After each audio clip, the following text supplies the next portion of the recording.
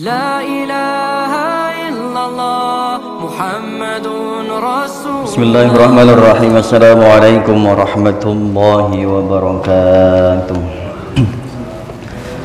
الحمد لله. الحمد لله وحده. والصلاة والسلام على من فيه أسوة حسنة. سيدنا محمد بن عبد الله صاحب الشفاعة وعلى آله وأصحابه وأزواجه وأولاده وذريته.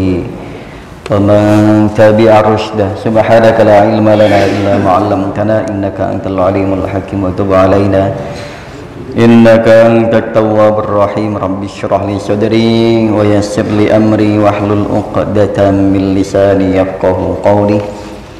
واجعل لي وزيرا من أهلي. قال الله تعالى في كتاب الكريم وهو أصدق القائلين أعوذ بالله السميع العليم من الشيطان الرجيم. لقد كان لكم في رسول الله أسوة حسنة. لمن كان يرجو الله واليوم الآخر وذكر الله كثيرا.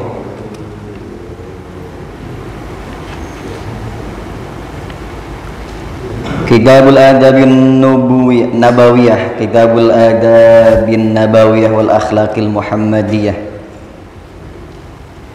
بيان تأديب الله تعالى صفيه محمد صلوات الله عليه بيان جمال من محاسن أخلاقه صلوات الله عليه Alhamdulillah jamaah rahimani rahimakumullah Puji serta syukur kita panjatkan kehadirat Allah Subhanahu wa taala. Salawat teriring salam semoga senantiasa terlimpah curahkan kehariban baginda insan pilihan Nabi Muhammad sallallahu alaihi wa alihi wasallam. Allahumma salli wa sallim wa barik alaihi. Bayanu jumali min mahasin akhlaqihi salawatullahi alaihi yaitu bab menjelaskan jumlah bilangan min mahasin akhlaqihi dari bagusnya akhlaknya Nabi Muhammad salawatullahi alaihi mudah-mudahan Allah senantiasa merahmati beliau salawat atas beliau.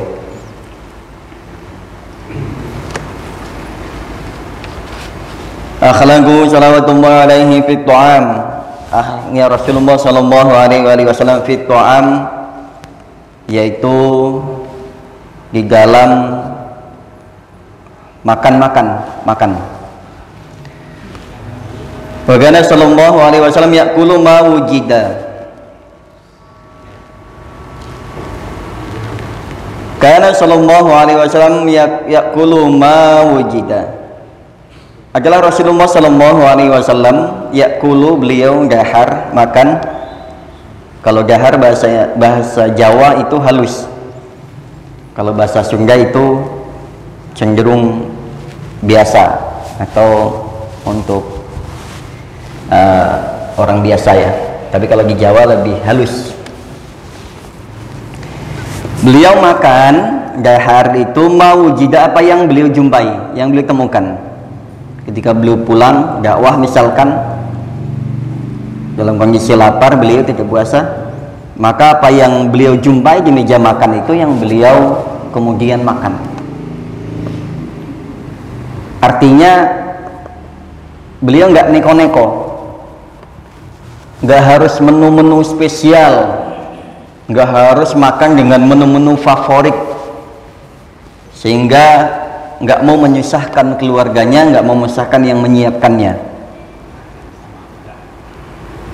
Ya kita lain umatnya.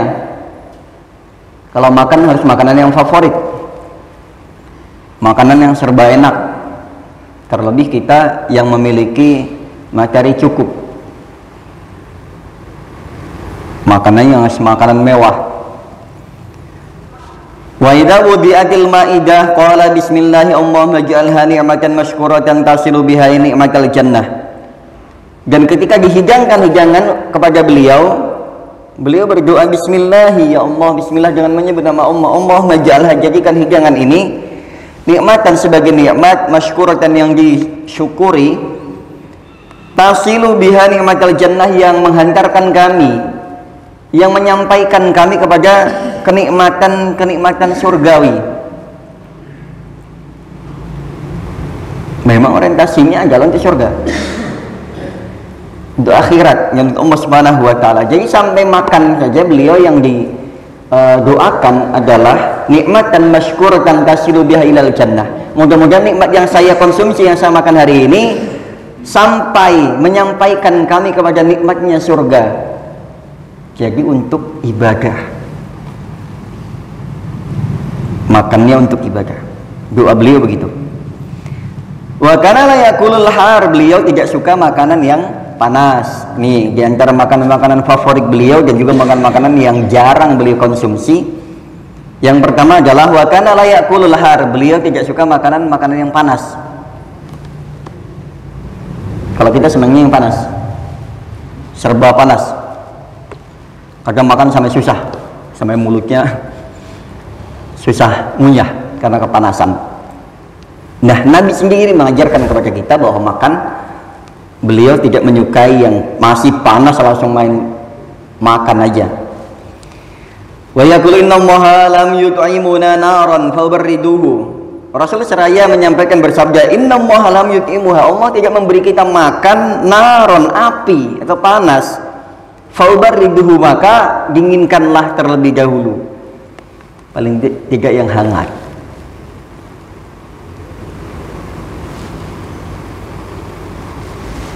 Wa kana yakul mimma yali dan beliau makan apa yang ada di sekitar beliau. Jadi enggak tangannya enggak uh, ngambil yang jauh-jauh makanannya. Yang ada di sekitar beliau beliau makan di di sisi-sisi beliau. Ini yang kemudian uh, diajarkan kepada umatnya kalau dalam sebuah hidangan ambil yang terdekat. Wa yakulu khubza syair. Wal qasa birrut birrutab beliau makan itu seneng makan roti gandum. Makanya di Indonesia itu banyak tuh roti gandum meskipun kita bukan penghasil gandum uh, terbanyak ya kemudian beliau suka dengan roti yang dibuat dari uh, kurma atau makanan yang diolah dari kurma basah. Wa kana saru tu'amahul. Dan kebanyakan yang beliau konsumsi untuk hari-harinya adalah yaitu makanan yang beliau konsumsi adalah yang pertama adalah alma, minuman, wa tamr dan kurma. Jadi memang beliau pola makannya sehat sekali. Yang kebanyakan dikonsumsi beliau adalah air dan juga kurma. Wa hamu ta'am wa kana yakulu sarid bil lahmi. Dan untuk urusan daging-dagingan wa habu ta'am ilaihi lahm. Beliau menyukai daging. Wa kana yakulu sarid bil lahmi. Dan juga beliau menyukai sarik itu bahasanya adalah kalau di uh, Jawa itu jenang. Berarti godol ya beliau suka tuh. Tapi di sana ada. Dodol itu bahannya dari daging. Bukan dari kita yang olahannya seperti kita itu. Wa yuhibbul beliau juga menyukai labu. Ini makan makanan favorit beliau nih. Nanti bisa kita ikuti untuk makanan sehat. Nanti bisa kita lihat bagaimana Rasul itu makanan itu sesuatu yang memang mengandung uh, gizi, protein dan juga yang yang sangat sehat wa kana yuhibbu min asyad azira wal katif wala yuhibbu minhal kilyatain wala zakar wal unsain wal unsayain wal musanah wal ghadab wal haya wa yukrahu darik tadi beliau suka dengan labu. Kemudian beliau wa kana yuhibbu minasyat az-zira. Beliau menyukai dari hewan kambing atau domba itu bagian ziroknya ziro itu bahasanya adalah lengan. Berarti apa? Kaki ya? Paha. Beliau menyukai paha dan juga kadang bagian ini nih bagian pundak lah kalau bahasa itu. Berarti ada terkadang di bagian pahanya terkadang di bagian ini katif itu uh, bahunya bahunya binatang. Apa sih kalau kita itu ya wala yuhibbu minhal kilyatain beliau nggak suka nih teman-teman sekalian. Beliau nggak suka itu ini bahasa aslinya ya. Tidak dirubah-rubah nih. Beliau itu nggak suka kalau kurban itu beliau nggak suka biji-bijian itu beliau nggak suka. Dan uniknya umatnya ketika kurban itu biji pada hilang tuh ke mana? Habis bablas. Pada suka banget. Nggak tahu untuk apa itu saya juga sampai sekarang nggak ngerti fungsinya apakah untuk stamina atau apa. Tapi yang pasti beliau nggak suka. Wala yuhibbu minal keliyatain wala zakar. Beliau nggak suka itunya nggak suka juga torpedonya itu nggak suka. Jadi nanti musim korban kalau ngikuti kita ngikuti syahwat habis itu pasti. Tapi kalau ngikutin sunnah nabi biar nanti dibagi-bagi orang aja nggak kita malah kumpul-kumpulin kemudian habis. Ini ini yang saya sampaikan yang uh, ada dalam kitab ini.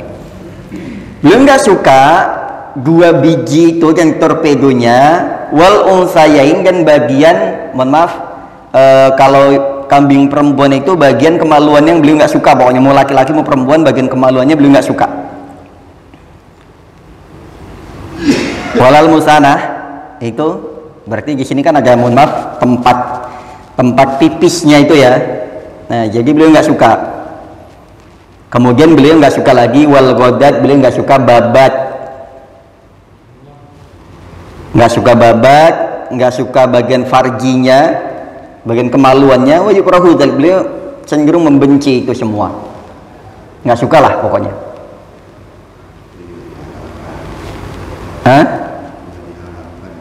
Ya nggak diharamkan. Di sini nggak ada tulisan diharamkan. Ini lagi bicara suka dan tidak suka, bukan haram dan halal, ya. Jadi bisa lebih connect lagi. Ini sedang bicara yang beliau sukai, favorit dan yang tidak beliau sukai, bukan berarti haram. Ya nggak apa-apa kalau suka, tapi memang kalau beliau nggak suka. Oke, okay. Wakana nah kemudian ini ya oke okay, dari tadi beliau sampaikan bahwasannya ini bicara tentang hal makanan favorit beliau yang beliau suka dan beliau tidak suka. Artinya tidak ada larangan. Wakana layakul saum wal bisol. Beliau nggak suka makan bawang putih, bawang merah. Tapi sekarang umatnya senang tuh garlic garlic itu tuh ada yang jualin banyak tuh langsung main kunyah aja beliau nggak suka. Yang yang bau-bau model begitu beliau nggak suka. Nah memang beliau tuh luar biasa. Coba dicek kalau bagian dari domba itu memang yang terbaik seperti yang beliau sukai ini. Seperti ziro dan juga katif yang tadi saya sampaikan. Itu adalah daging terbaik. Bagian kaki itu kan dagingnya terbanyak dan juga terbersih. Daging di antara terbersihnya itu yaitu memang beliau itu kan makan bukan karena syahwatnya Bahkan urusan makan saja beliau pasti sudah atas izin Allah Subhanahu wa taala. Kemudian tadi beliau tidak suka bawang merah, bawang putih. Wa qad in akalahu. Tapi beliau tidak pernah sama sekali mencaci makanan. Yang beliau suka beliau makan, beliau tidak suka beliau tinggalkan.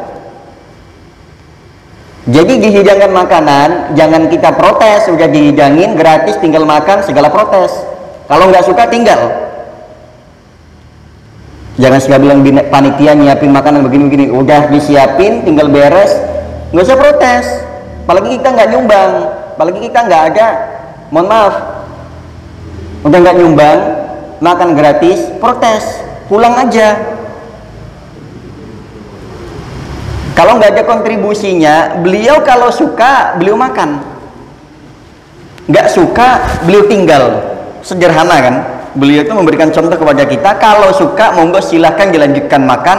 Nggak suka silahkan ditinggalkan. Nggak usah protes, nggak usah caci maki, nggak usah perlu ngomel-ngomel. Mau makanan itu kita suka atau enggak, kalau apalagi terlebih makanan itu adalah makanan hidangan yang dihidangkan oleh orang lain dengan susah payah dengan keikhlasannya menyiapkannya maka terima wa madzamu ta'aman qad in ajabahu. Beliau tidak sama sekali tidak pernah mencaci makanan. In ajabahu kalau beliau menyukainya akalahu beliau makan. Wa in karihahu tarokahu kalau beliau tidak menyukainya maka beliau akan meninggalkannya.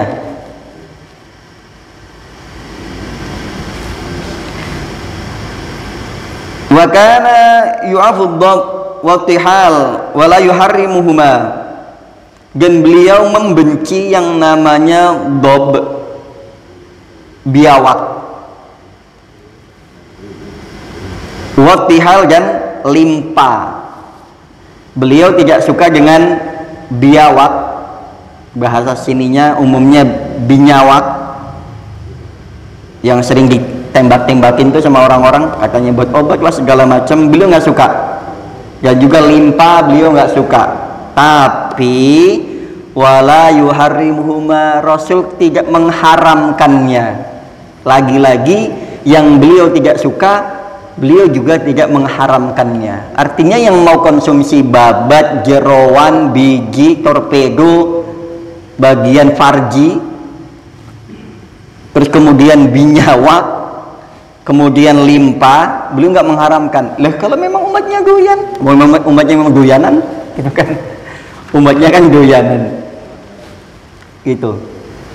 Beliau tidak tidak mengharamkannya. Beliau tidak suka tapi kalau memang kita berpegang teguh mengikuti Rasul ya apa yang beliau tidak suka ya memang harusnya kita juga tidak suka. Tapi kemudian beliau tidak membebani umatnya dengan mengharamkan mengharamkan mengharamkan. Karena itu hak Allah untuk mengharamkannya. Beliau yang beliau sama Allah dibolehkan beliau ambil yang tidak dibolehkan beliau tinggal. Wala yuharrimu tanpa beliau membuat aturan sendiri. Beliau juga tidak membuat aturan halal haramnya bukan beliau sendiri yang membuat. Wa kana idza faragha kalau ketika beliau sudah selesai makan maka doa yang sering beliau baca seperti yang kita baca biasanya kan kita alhamdulillahilladzi at'amana wa saqana wa ja'alana minal muslimin itu doa umum standarnya untuk anak-anak yang biasa kita baca. Di sini doanya versinya lain. Alhamdulillahi allahumma lakal hamdu at'amta fa asba'ta wa saqaita fa arwaita laka. Alhamdu ghairu maghfur wala maudu wala mustaghna anhu. Ketika beliau selesai makan, beliau berdoa, Allahumma lakal hamdu at'amta ya Allah segala puji hanya milik Engkau ya Allah. At'amta Engkau memberikan kami makan, wasfa'asba'ta kemudian Engkau memberikan kami rasa kenyang. Kita syukuri, Pak. Kita seolah-olah kalau makan itu wajib kenyang. Padahal rasa makan dan kenyang itu terpisah. Ada orang yang makan enggak kenyang-kenyang rasa kenyang itu sendiri nikmat sendiri ada orang tidur pulas banyak orang yang tidak bisa tidur dan itu nikmat yang luar biasa. Makanya beliau doa dalam urusan makan dan doa kenyang itu ada dua kalimat dua kata di sini. Allah lakal hamdu. Atau anta ya Allah segala puji hanya milik engkau ya Allah yang telah memberi kami makan dan kemudian memberikan kami rasa kenyang.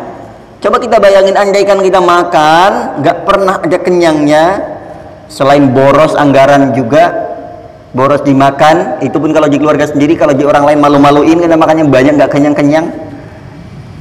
Wasakoi dan kau telah memberikan kami minuman, fa'arwaita kemudian kami nggak haus lagi. Apa itu bahasa kalau makan itu kenyang, kalau minum itu, ya pokoknya nggak haus lah ya. Fa'arwaita membuat kami segar Lakal hamdu, puji hanya milik engkau ya Allah, ghairu ma'fur yang tidak kami kufuri, wala maududan yang tidak kami tinggalkan, wala mustaghna'an hujan tidak juga kami uh, apa namanya? Uh, minta selain engkau kepada engkau ya Allah.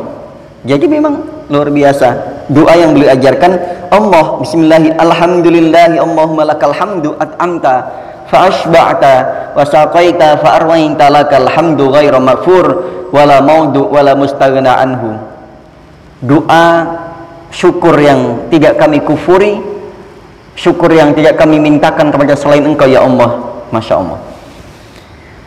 Wa kana idha kalalahm ghassala ghassala ghassala yadaihi ghaslan jayyidan. Adalah beliau ketika ida akal lahum ketika beliau makan daging maka beliau membasuh tangannya ghaslan jayyidan dengan membasuh yang sangat bagus sangat bersih. Lain ketika makan makanan lain maka untuk urusan daging selain meninggalkan bau jejaknya bekas-bekasnya maka beliau membasuhnya khusus ketika beliau makan daging. Biasanya kan begitu. Kalau kita konsumsi buah-buahan konsumsi makan yang lainnya baunya nggak seberapa.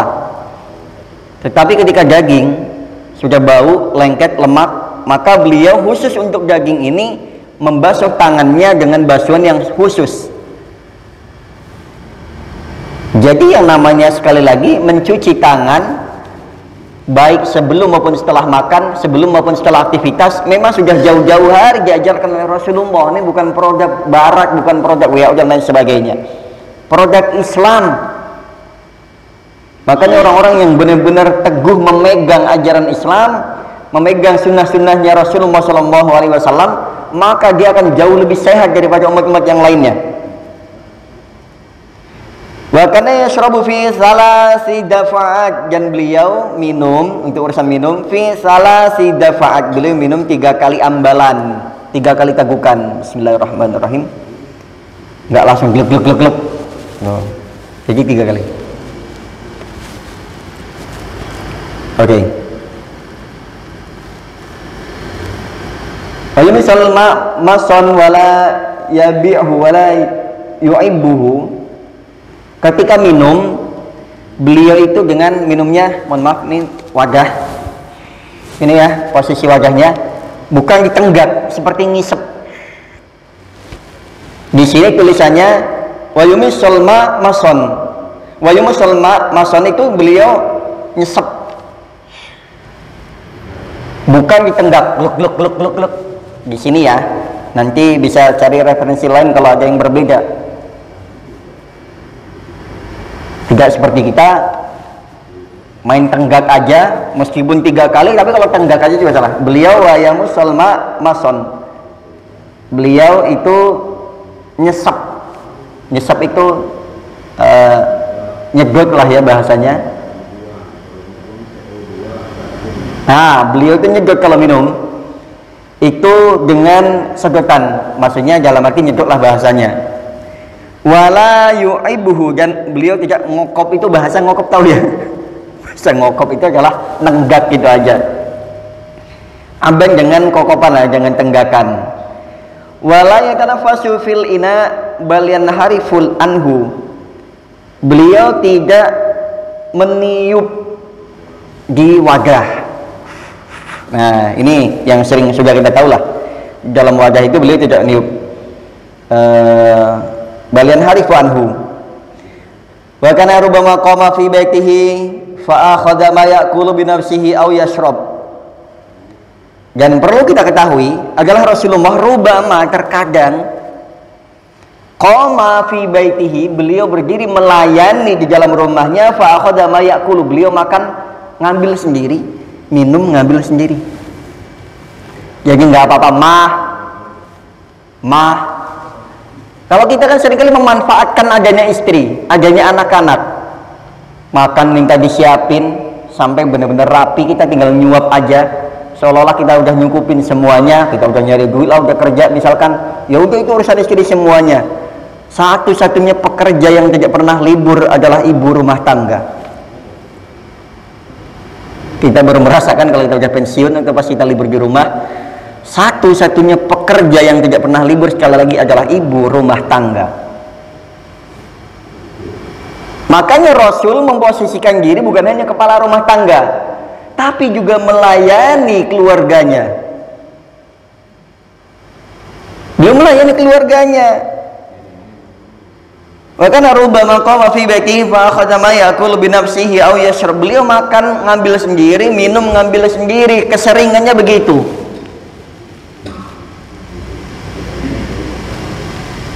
Ini jemaah sekalian.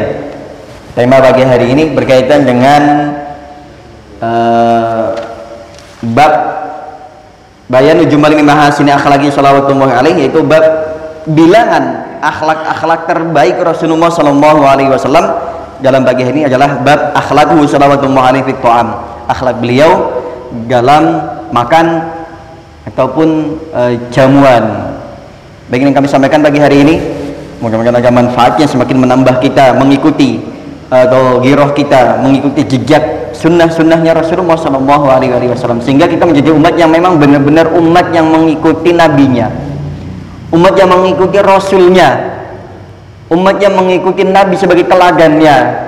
Bukan hanya urusan ibadah sholat mahdoh dan lain sebagainya tapi keseluruhan bahkan urusan makan yang begitu banyak dicontohkan oleh Nabi kita Muhammad Sallallahu Alaihi Wasallam kurang lebih mohon maaf. Dari kami ucap sekian. Walakum minna syarrul mustaqim subhanaka allahumma rabbana wa bihamdika.